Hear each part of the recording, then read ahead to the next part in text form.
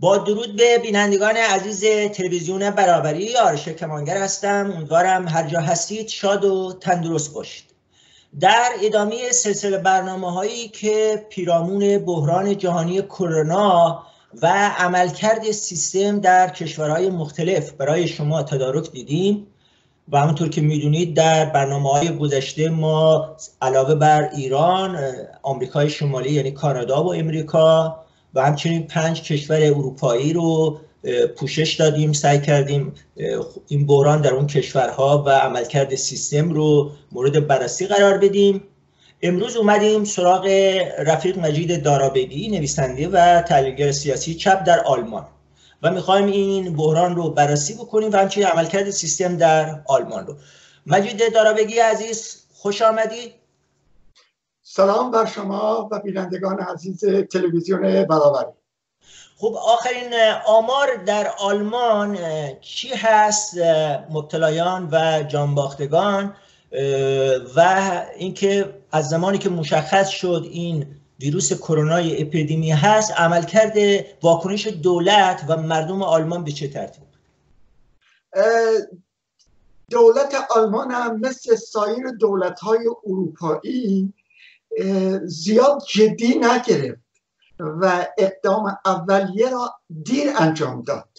واقعیت این است که بازی اسکی که در واقع تفریح عده خیلی محدودی از مردم مرفه و یا علاقمند آلمان هستند در اتریش موجب شد این بیماری در چند کشور اروپایی و از جمله در خود آلمان گسترش پیدا کنه و تا آخرین لحظه دولت آلمان نه فرودگاه ها را کنترل می‌کرد نه ایستگاه های مردی را کنترل می‌کرد.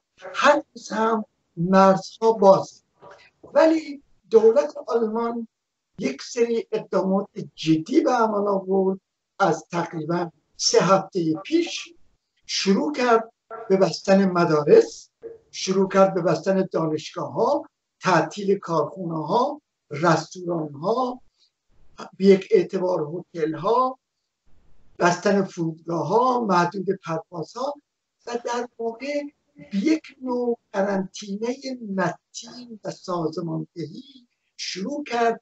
اگرچه بین این داشتن که حتی شمار مبتلایان به مرز میلیون برسه هنوز هم زیر صد هزاره و طبق آخرین گزارشی که دیروز منتشر کردن 99225 نفر تا به حال این بیماری مبتلا شدن و شمار زیادی از اینها در واقع بهبودی یافتن و مرخص شدن.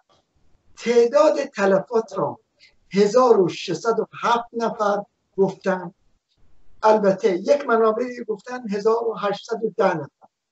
به فرض اینکه 1810 نفر هم باشه باز به نسبت 100 هزار نفر رقم خیلی بالایی نیست.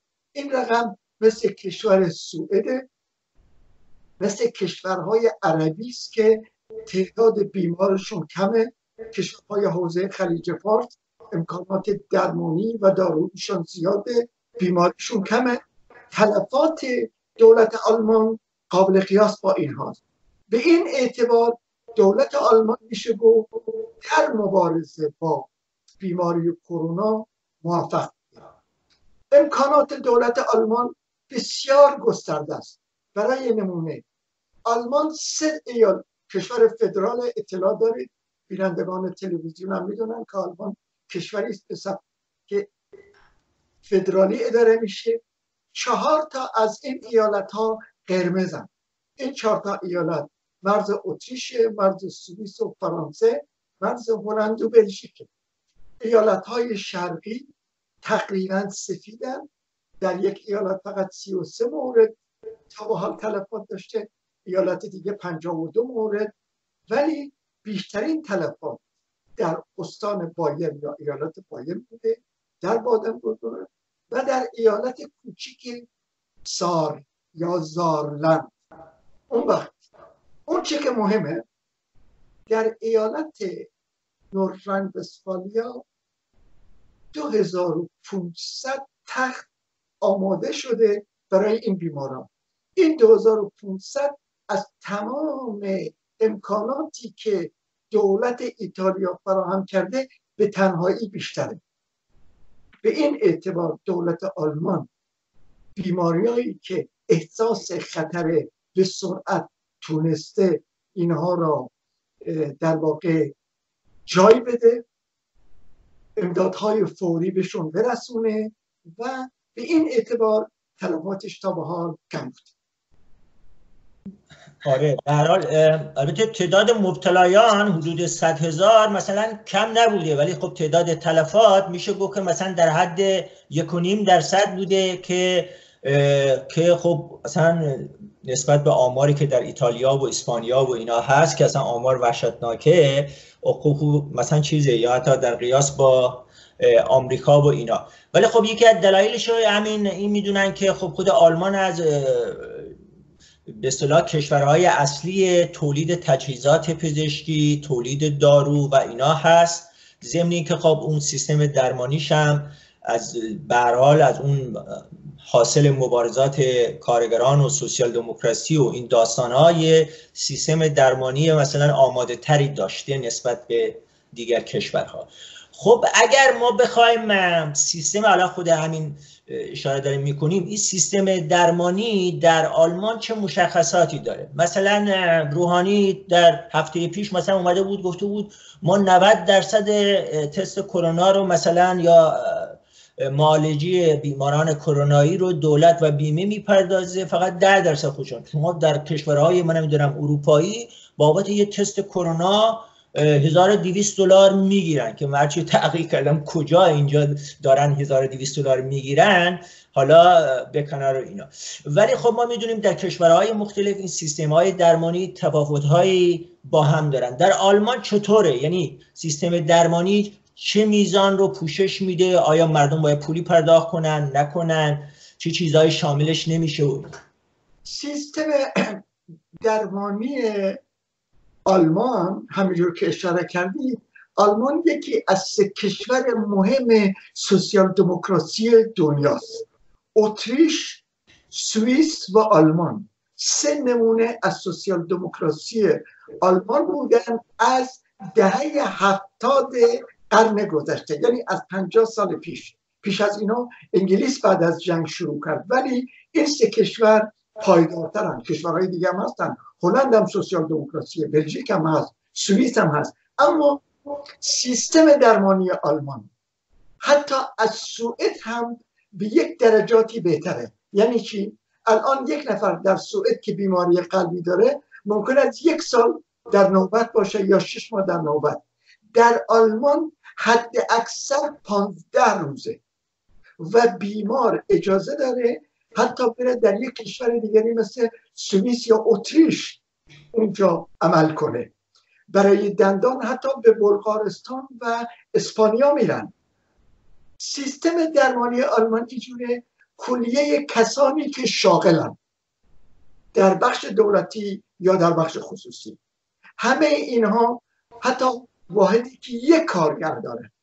اینها مشمول بیمه درمانی هستند 50 درصد هزینه درمانی خودشون رو خودشون می‌پردازن 50 درصد را کارفرما.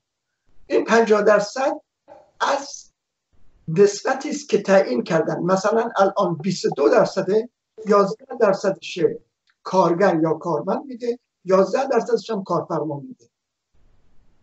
اونهایی که درآمد خیلی بالا دارن یعنی بالای 5000 و 6000 اینها می‌تونن برن در بخش خصوصی بیمه بشن با امتیازات بیشتری.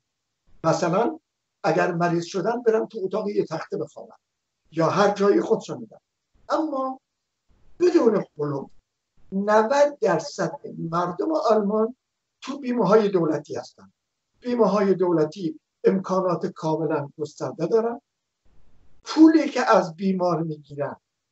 به ازای اگر اتاق تخت نفره باشه به ازای شبی 15 یورو. اگر اتاق سه تخته و بیشتر باشه شبی 10 یورو. هنوز نمی‌دونم راجع به این بیماری کرونا چقدر بگیرن. ولی اگر همین ده آلون هم بگیرن به فرض 20 روز که در بیمارستان بخوابه حد اکثر میشه 200 یورو. اما دولت در شرایط کنونی پولهایی خرج می‌کنه که این شوخیه دولت بودجه یک هزار میلیارد دلاری عرضه کرده. برای آدم هایی که شغلشون از دست دادن برای شرکت هایی که در واقع ورشکستن یا برای رستوران ها برای کسانی که در واقع خودشون به عنوان یک فرد یا یک گروه کوچیکی کار می‌کنن. این امکاناتی که فراهم بوده دولت در شرایط کنونی هیچ بیماری را به این عنوان که این کارت بیمه نداره یا بیمه نیست رد نمی‌کنه. به محض اینکه اطلاع بدن یک فردی بیماری کرونا داره در نخستین محل این را در بیمارستان جا میدن. مداوا می‌کنن و کسی در این شرایط به خاطر پول در کنار نمیمونه. البته قبلا کسی که می‌خواد دندون پزشک باید کارش کارت بیمه ارائه بده. کسی میره بیمارستان باید کارت بیمه ده ولی کسانی هم که کارت بیمه ندارن مثلا پناهجویانی هستن که تازه اومدن. به همه اینها کارت های موقت سه ماه سه ماه میدن. این کارت ها تمدید میشه. اونا هم از تمام این مزایا برخوردار هستند اینجا به عنوان اسم پناهندان اومد یک چیزی را به عنوان معترضه بدم. همین دیروز با وجود اینکه اجتماع قدخنه 400 نفر از هواداران در واقع پناهجویان در مرکز شهر فرانکفورت یک اجتماع کوتاه به هم رسوندن گفتن با توجه به بیماری کرونا پناهجویانی را که در مرز ترکیه و یونان هستند دریابید. روش با دولت بود و بدون اینکه پلیس تهدیدی کنه خودشون در یک زمان خیلی کوتاهی پراکنده شدن. این در واقع نویدی می‌خواستم بگم به اون پناهجویان که بالاخره در این شرایط هم بازم کسانی در اندیشه اونها هست. بله.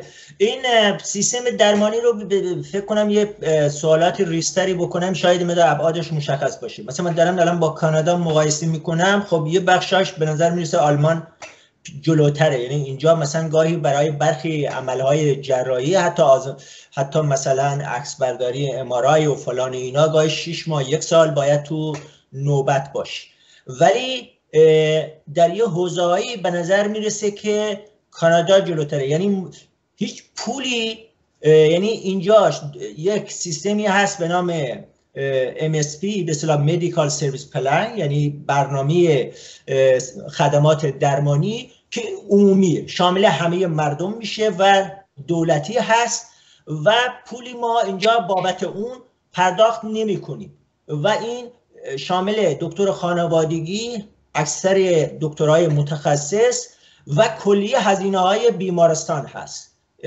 و از جمله دارویی که در خود بیمارستان بدن از کوچکترین عمل جراحی تا بزرگترین عمل جراحی اینا همه رایگانه. یعنی الان شما میگید که بیمار بستری بشه باید شبی منم 10 یورو 15 یورو فلان بده اینم تو کانادا نمیدن.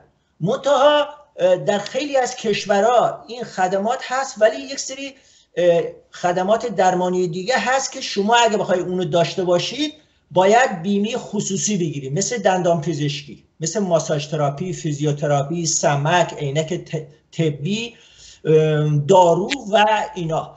و شما باید معمولا هم اینجا اینجوریه که خیلی از محلهای کار جایی که شما کار می‌کنید اون بیمه خصوصی رو کارفرما فراهم می‌کنه نصفش خودش میده نصفش شما می‌دید.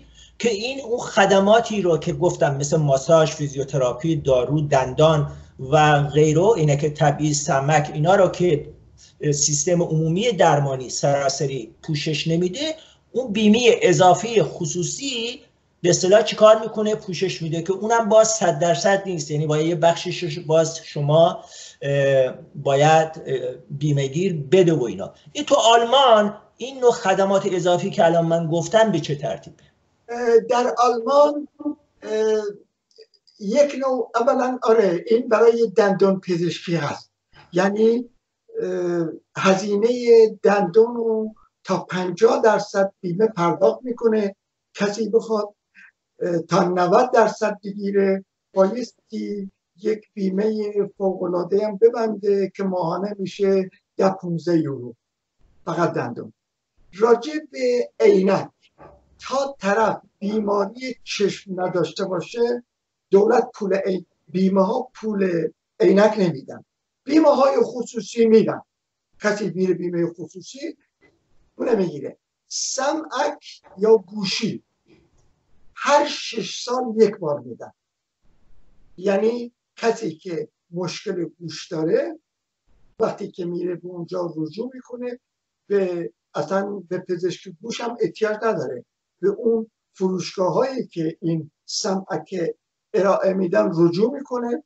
اونها اندازه گیری می‌کنن. متناسب با اونش دستگاه بهش میدن. البته ارزونش در مرز یک هزار یورو را دولت همه بر عهده می‌گیره. ولی اگر کسی بخواد مثلا سمعک های جرون بگیره خودش باید بده. اما اون کسی که حداقلی که می‌تونه باش بشنوه تا مرز هزار یورو هر شش سال یک بار میدن این باید نگرش داره. مگر اینکه در ظرف این شش سال وضع گوشش بدتر بشه بره به پزشک گوش و حلق و بینی پزشک گوش و حلق و بینی تایید بکنه که بگه این سمعکی که این داره به دردش نمی‌خوره. البته برنامه پروگرامش همش کامپیوتریه برنامه جدیدی روش میدن. از بابت برنامه جدیدم پولی از اون نمی‌گیرم. پولش خود بیمه پرداخت می‌کنه. کسی که دکتر میره برای نسخه ای که براش می‌نویسم.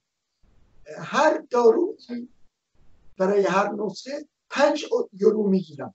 یعنی مگر اینکه مثلا کسی بیماری اینا میگن کرونیک. یعنی بیماری های مداوم داشته باشه. از اون پول نمی‌گیرم. ولی کسی که مثلا مثل من یه بار سرما بخوره بره اونجا یه نسخه بگیره باید پنج یورو از جیب بده. گاهی اوقات اون رقم دارو میدن معادل همون پنج یورو هم نیست. ولی خب گاهی اوقات تره یک چیز دیگری هم که راجع به این که اگر راجع به این ببخشید. راجع به ت... اون اینو بگو. بعد راجع به تست کرونا هم بگو که تست کرونا در آلمان به چه کرد اگر چنانچه طرف بیماری داشته باشه که احتیاج داشته باشه به ماساژ های مخصوص یا ورزش های مخصوص اینو از بیمه میدن. ولی اگر کسی خودش همینجور بگه بگه دلم می‌خواد برم ماساژ اون پولا را دولت نمیدن. ولی اون ورزش هایی که برای بیماری های مثلا در ایران به وجود میاد. اونها را دولت بر عهده می‌گیره اکبرداری ها را فیلمبرداری ها را جراحی های سنگین را راجع به بیماری کرونا هم طرف اگر مشکوک بشه به اینکه این بیماری را داره به پزشک خانوادگی میگن اینجا.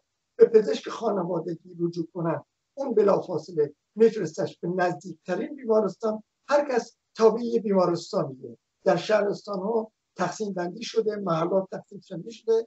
اگر اون محل بسته شده باشه یا ظرفیتش پر باشه میفرستن به دیگه. ولی معمولا میفرستن اون بیمارستانی که درش هست.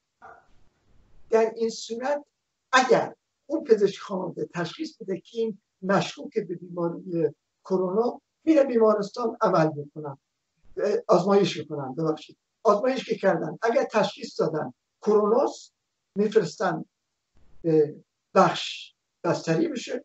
اگر تشخیص ندادن داروی دیگه بهش میدن برگرده ولی اینجور نیست هر کس داوطلبانه بره. مثلا کسی که احساس سالمی می‌کنه نمیره اونجا داد البته در بسیاری از کشورها هم حتی اگر من حتی مصاحبه که داشتم میزیگیری که داشتم اون رفیقمون از فرانسه توضیح می‌داد. حتی هم تشخیص دادن که کروناست به دلیل اینکه ظرفیت بیمارستان ها پره یا اصلا لزومی نمی‌بینن به این کار طرف رو حتی تو بلژیک. مثلا در خود خونه میگن قرنطینه باید باشی. با اون که مشخص شده علائم کامل کرونا را داره مشخص شده که علائم کرونا را داره. میباید تو همون خونه قرنطینه باشه. گاهی خود دکتر با پوشش حفاظی و فلان اینا میاد دارو میده و بعد خودش برمیگرده یعنی به بیمارستان نمیرم فقط موقعی که علائم به صلاح تنگی تنفس و من نمی‌دونم مشکلات تنفسی و این چیزا پیدا کنن که به مراقبت ویژه و دستگاه اکسیژن نیاز باشه و طرف رو منتقل می‌کنن بیمارستان. ولی ظاهرا شما میگید که توی دکتر خانوادگی تشخیص بده که این باید تست کرونا بشه. لحاظ تست کرونا. یکی از دلایل موفقیت نسبی آلمان هم به دلیل همین حجم زیاد تست کرونایی که گرفتن. یعنی در میگن در هر کشوری که حتی در کره جنوبی هم اینجوری بوده در چین هم اینجوری بوده و اینا در هر کشوری که تست کرونای زیادی از مردم گرفتن کمک کرده به کنترل این اپیدمی. آره. دقیقا. حالا سبد معیشتی اونجا چطوره؟ یعنی الان در کشورهای مختلف ما می‌بینیم یکی از پسلرزه های این کرونا اپیدمی کرونا این بیکاری گسترده تعطیلی مراکز اقتصادی و که یا خودشون خودشون تعطیل کردن یا اصلا به دستور دولت بر سیاست قرنطینه تعطیل کردن یعنی به غیر از صنایع مواد غذایی و دارویی و بهداشتی و حمل و نقل عمومی بقیه همه گفتن در خیلی از کشورها تعطیل. خب اینا بیکار میشن دیگه. هم یعنی خود کارگرها و مزد حقوق بگیرانشون بیکار میشن هم به اصطلاح اونا که دکانداره یا اون کسی که صاحبان این شرکت ها هستن و فلان اینا میگن که خب باید ضرر زیان ما را بگیر پکیج اقتصادی که دولت آلمان تعیین کرده برای این وضعیت اضطراری چی بوده؟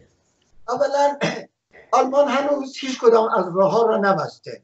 قطارها تو راه هستن کشتی ها تو راه هستن هواپیمای که حمل و نقل کالا می‌کنه تو راه هستن و فروشگاه های بزرگ همچنان کالاهای اساسی مردم را عرضه می‌کنن. بعضی از کالاها نایاب شده. اون کالاهایی به اصطلاح خوشباری است که یه عده ذخیره کردن. مثلا کاغذ توالت کمبودش محسوس میشه. انواع ماکارونی کمبودش محسوس میشه. یه دلیلش هم این است که در واقع انبارا خالی شده ولی الان دارن پر می‌کنن.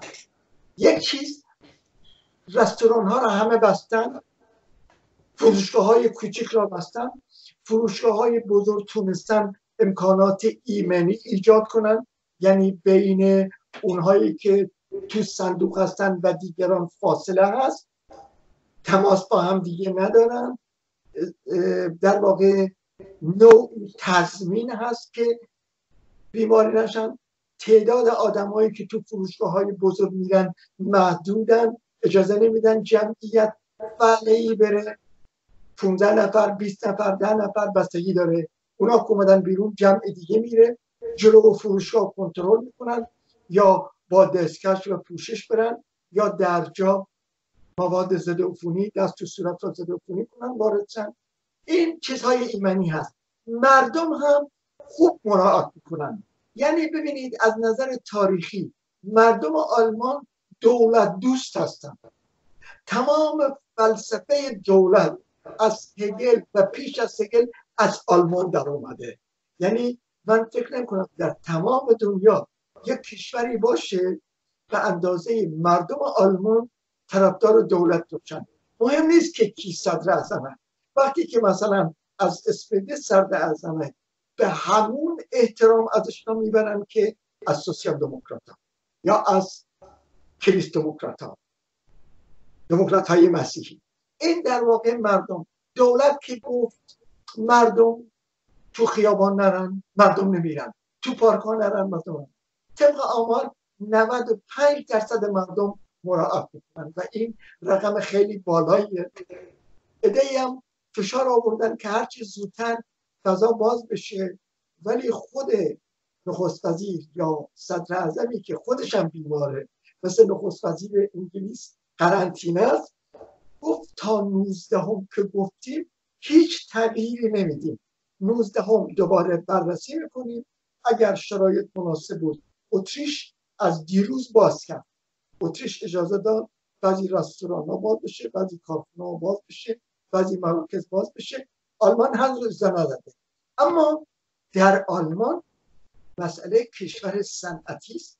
اولا هتل ها تاکسی ها رستوران ها فروشگاه کوچیک اینا قربانی اولا از دو ماه پیش اینها بساتشون تخته شده و دولت قراره بهشون کمک کنه. حداقل بیکاری اینا بهشون بده. ولی واحدهای بزرگ صنعتی را که تعطیل کردن برای دو ماه گفتن شست و سه درصد حقوق میدن. یعنی دو سوم حقوق اینا را بهشون میدن.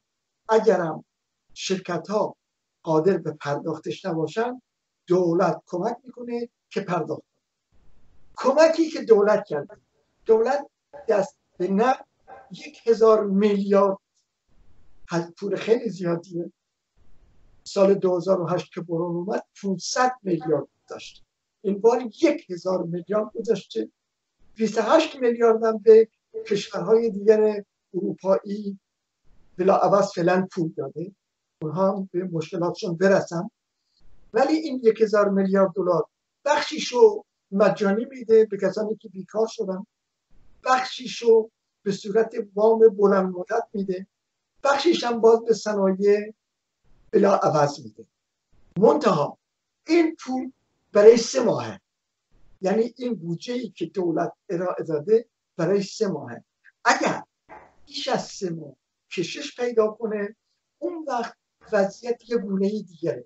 البته همه امیدوارم که به سه ماه نکشه. همینجور که چینی ها کنترل کردن. اینجا کنترل کنن در آینده اگر مثلا فرض کنیم در ما چهار هزار نفر پنج هزار نفر هم مبتلا بشه امکان دارویی و درمانیش داشته باشن که نذارن مردم طلب بشه و اقتصادم بگردن.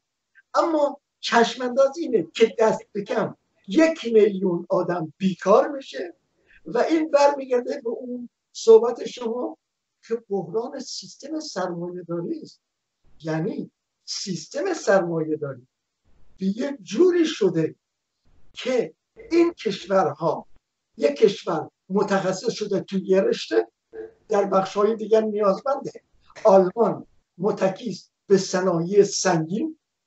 الان بازار صنایع سنگین رو در خیلی از کشورهای دیگه حتی در اروپا از دست داده. در ایتالیا از دست داده در فرانسه از دست داده در بلژیک و هلند و اسپانیا از دست داده. خب در کشورهای اروپا شرقی داده. وقتی از دست داده تولید میاد پایین. با پایین اومدن تولید بیکاریه. یعنی حتی به بیماری غلبه بشه این مشکل مشکل بیماری دیگه نیست. مشکل سیستمی است که متکی به صادرات چند بقره از کالای اساسی و نیازمند دیگر.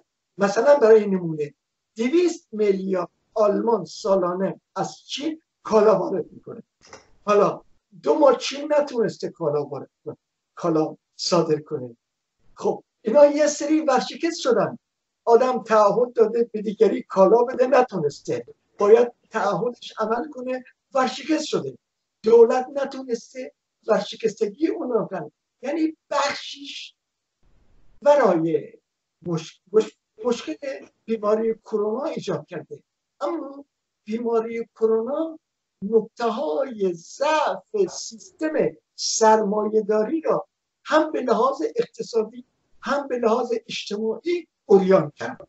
یعنی مجید جان ما در مورد این بران ساختاری سرمایه‌داری اینه که این ریشه های این فاجعه که الان بشریت باش مواجه است ریشه های عمیقترش کجا است برمیگردیم. من فقط در مورد همین پکیج اقتصادی و به اصطلاح سبد معیشتی یا آمار جهانی داده شده بود تحت عنوان سوبسید دستمزد ویج سابسیدی که اتفاقا در میان همین کشورهای پیشرفته سرمایه‌داری آلمان پایین ترین رقم رو داشت. یعنی همین رقم 60 درصد رو که گفتید.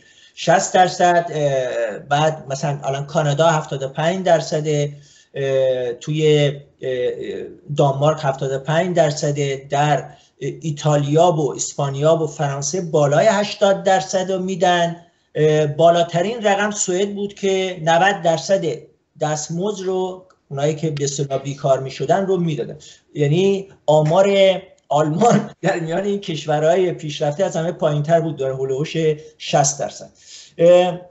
خب در اکثر این بودجه هزار میلیاردی هم که گفتیم مثل این بودجه دو هزار میلیاردی آمریکا بخش اعظمش می‌خواد بره تو حلقوم شرکت ها و کمپانی ها و اینا. بخشش به اصطلاح به کارگران و مزدبگیرانی می‌رسه که کارشون رو موقتا از دست دادن. ولی این سمایی که گفتی واقعا یعنی خیلی اینا خوشبینانه دارن برخورد می‌کنن. یعنی به نظر می‌رسه مثل الان چجوری روحانی عجله داره مردم رو بفرسته سر کار در حالی که بحران کرونا در ایران بیداد می‌کنه به نظر می‌رسه نظام سرمایه‌داری عجله داره بفرسته سر کار در حالی که نه هنوز واکسنش پیدا شده نه هنوز یک داروی قطعی پیدا شده. خب شما الان مثلا همین امروز من خبر رو دنبال می‌کردم دوباره یه موج جدید ووهان که دوباره آزاد کرده بودن. دوباره یه موج جدیدی اومده که به خاطر اینکه مسافرهایی که قبلا نمی‌تونستن بیان ووهان الان اومدن ووهان اونا با خودشون ویروس کرونا آوردن. یعنی یک موج جدید دوباره شروع شده و اینا. یعنی به نظر میسه نظام سرمایه‌داری عجله داره برای اینکه هر چیز زودتر به قول معروف مردم بفرسته سر کار و به قول خودش از ابعاد این رکود اقتصادی بکاهد اینا. ولی به هر حال تو از دید تو خب این کرونا ظاهرش که ویروس کرونا اومده گرفته تبدیل به اپیدمی شده و اینا. ولی اینکه چرا جهان به ویژه حتی کشورهای پیشرفته سرمایه داری. ایتالیایی که عضو جی 7 یعنی قدرت هفت قدرت امپریالیستی جهان هست اصلا آمادگی نداشتن. چقدر این مسئله این بحران کنونی بحران جهانی به عملکرد خود نظام سرمایه‌داری الگوی توسعه اقتصادیش. تاثیرات مخربی که روی محیط زیست طبیعت جانوران اینا گذاشته ربط داره. ببینید از همه بالاتر آمریکا. ترامپ می‌گفت امریکا فرست این امریکن فرست نشون داد اصلا نمی‌تونه با کرونا در بیفته. اولا این رهبران همینجور که اشاره کردی مدافع سرمایه داری هستند دنبال سود سرمایه داران هستند دنبال مردم نیستند امروز هم اگر مجبور شدن از مردم دفاع کنن نه از انگیزه دفاع از مردمه. انگیزه این سیستم کارگرا که نتونن کار کنن کارمندا که نتونن بیان سر کار اقتصاد میخوابه. اصل قضیه این است که در آلمان هم فشار خیلی زیاده. اون در واقع رؤسای سندیکای کارفرمایان فشار میارن میگن باز کنید. ما نمی‌تونیم بمونیم. این هر کدام از اتحادیه کارفرمایان نه کارگران. کارگران خوب تکلیفش روشن دست کم ظاهرم بوده باید از کارگران دفاع کنه ولی اینا می‌خوان راه بیفته. چرا؟ ترسشون اینه. ورشکستگیشون دیگه جبران نشه. بورس سهام بیش از چل درصد پایین اومده. یعنی یک آدمی که دو ماه پیش سرمایش ده میلیارد بوده امروز شش میلیارده. ده میلیون بوده امروز شش میلیونه. و این با مرز ورشکستگی با توجه به بدهیاش با توجه به تولیت مرز زیادی نداره. این است که در شرایط کنونی آلمان هم مثل سایر کشورها تلاششون این است که هرچه زودتر باز کنن. حتی قرار شد از دیروز که اتریش باز کرد دو تا از وزیرا گفتن ما هم باز کنیم. شرکت فاوه هم که بزرگترین تولید کننده اتومبیل ایران و جهان آلمان و جهانه یکی از تأسیساتش که ارتباط داره با چین باز کرد. چون کارخانه ای که در چین میگرده بخشی از وسایلش از باناتال میاد. تأسیسات باناتال را البته با دویست تا کارگر شروع کردن. یعنی اما این مقدمشه هفته آینده میشه دو هزار نفر. صدر ازم که در طول مجبور بود پیام بفرسته بگه اون تا 19 همی که گفتیم دست از پا خطا نکنید. البته 19 هم وعده خیلی زیادی نیست. 19 هم به زودی ولی احتمال خیلی زیاد طول می‌کشه تا آخر ماه آپریل و در آخر ماه آپریل باید ببینن اگر دامنه از چند کشور اروپایی از جمله ایتالیا فرانسه اسپانیا هلند بلژیک کم نشه آلمان به علت ارتباطی با اینا داره نمی‌تونه زود این در واقع قرنطینه را هم بزنه. الان نیمه قرنطینه است. مردم آزادن می‌تونن برن خرید کنن می‌تونن برگردن. می‌تونن برن بگردن. ولی از آمد و شد و تماس ها و اجتماع و اینها جلوگیری می‌کنن. مازاد در اون به نظر من مثلا مردم اروپا به طور نسبی آزادی بیشتری دارن. ولی با وصف همه اینها بخشی از جوان ها بیتابی می‌کنن. در این بحث هایی که میان هر شب در تلویزیون هستن بیتابی خودشون نشون میدن. این و ها و کسانی که در آستانه ورشکستگی هستند. نه فقط کلان سرمایه‌دارها بلکه های کوچیکی که در واقع با زحمت خودشون میگردونن اینها وضعیتشون خیلی بحرانی چون چشماندازی ندارن. با عادی شدن اوضاع بتونن جبران کنن. کمکی هم که دولت به اینها می‌کنه اونچنان کمکی نیست که اینها سر پا باشن وامی هم که دولت به اینها میده. وامش از طریق بانک دولتی بانک توسعه دولتی تضمین شده با بهره خیلی کم به مدت 8 تا 10 سال. ولی با وصف همه اینها عده خیلی زیادی چشم انداز روشنی ندارن چرا؟ معلوم نیست. این بیماری تا کی طول می‌کشه؟ اگر در ظرف سه ماه چهار ماه یه امیدی. اگر بشه دو سال و سه سال و چهار سال چیکار می‌کنن این در مردم وحشت ایجاد کرد. بله در واقع این هم هست دیگه. یعنی این نظام حالا این یه بخشی که این پس های اقتصادی این بحران خواهد بود. یعنی حتی این معلای کارم باز بشه یک مدتی طول خواهد کشید تا اون چرخهای اقتصاد به قبل برگرده. برخی مثلا معتقدند که خود این بحران نشان از شکست و درماندگی سیستم سرمایه‌داریه که اصلا حتی در پیشرفته‌ترین کشورها آمادگی نداره در حالی که اینا زرادخانه هاشون پره به اندازه چند نسل بشریت می‌تونن آدم بکشن حتی در ارتباط با ماسک و دستگاه تنفس مصنوعی اینا مونده. کار آمریکا که الان اخیرا خبرشان بود دیگه به دوزی دریایی کشیده. آلمان مثلا سفارش داده بود از تایوان که اوضاعش مدار خوب بود و اینا 200 میلیون ماسک بگیره رو دریا آمریکا دستور داد اون ماسکا بیاد از به جای آلمان بیاد آمریکا که حتی دولت آلمان اعتراض کرد.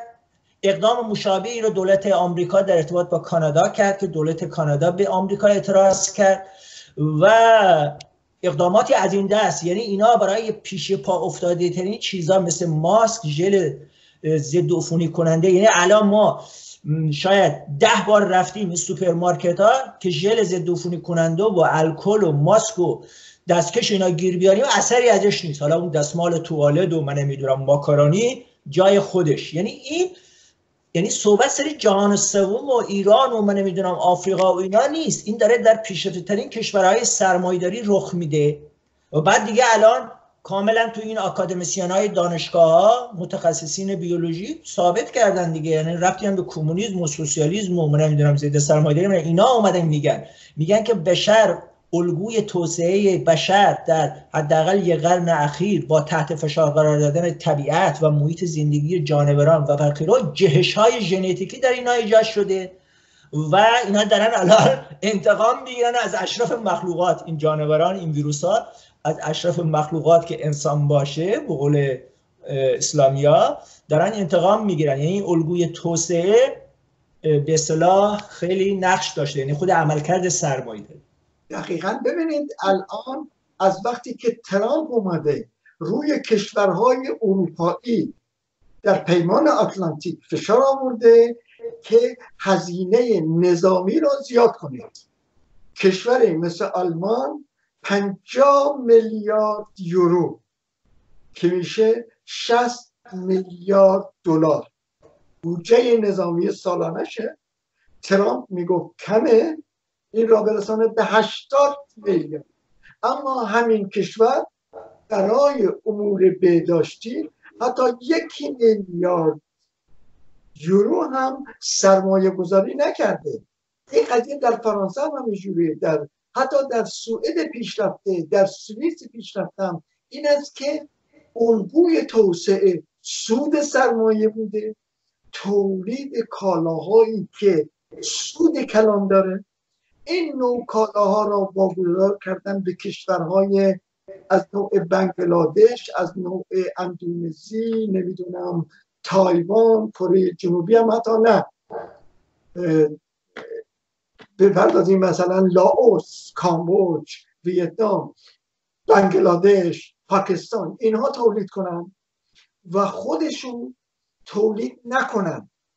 در واقع اومدن کارگر ارزون اونجا را اگر یک کارگر دوزنده در فرانسه ساعتی دوازده یورو حد اقل حقوقه هشت ساعت کار باید 96 یورو بگیره.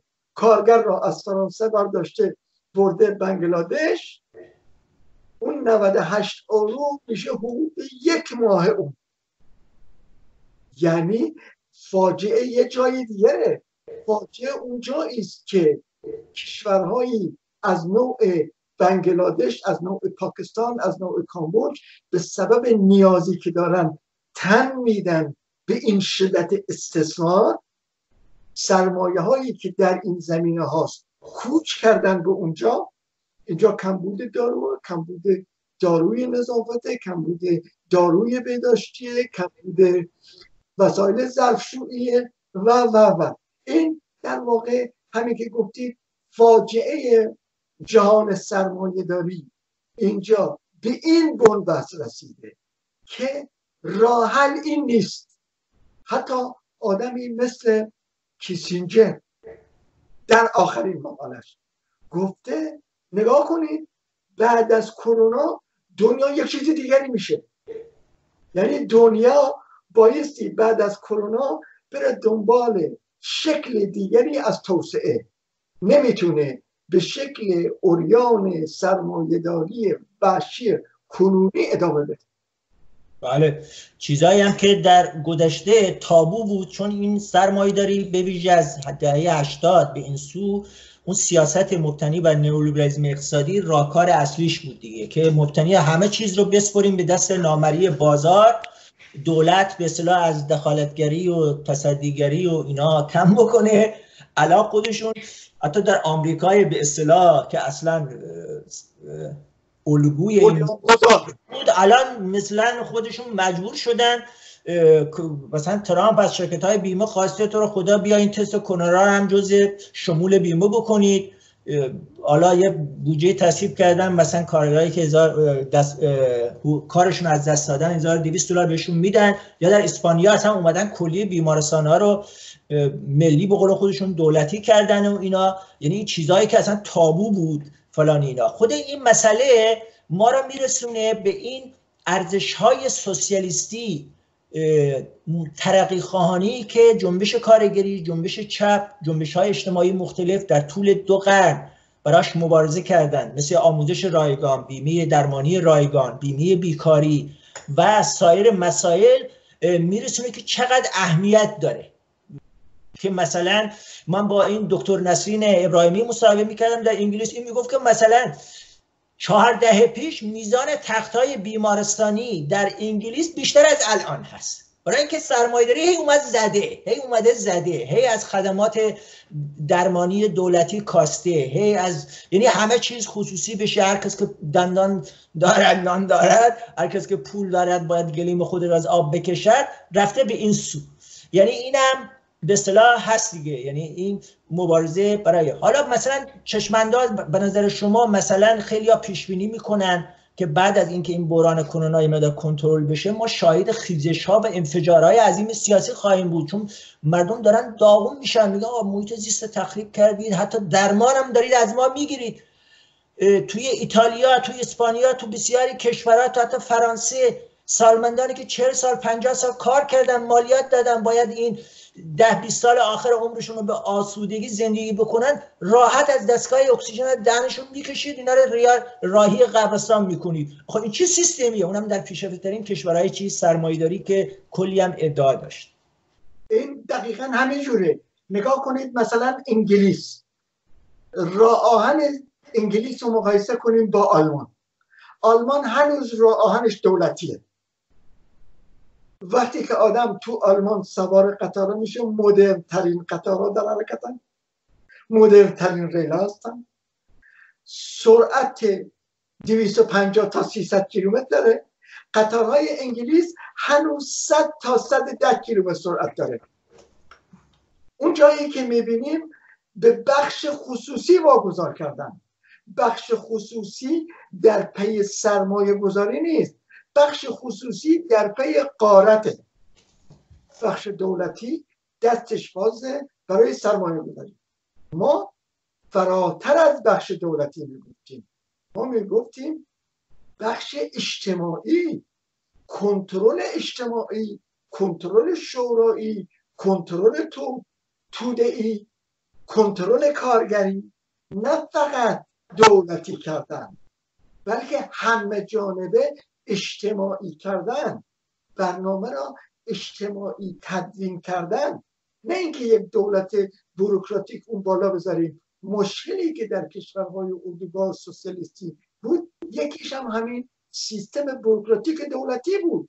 پشت میز برنامه ریزی گسپلان می نشست برنامه می بود. فلان روستایی که ازش اطلاع نداره که 42 تا خوکش بشه 83 تا خوک.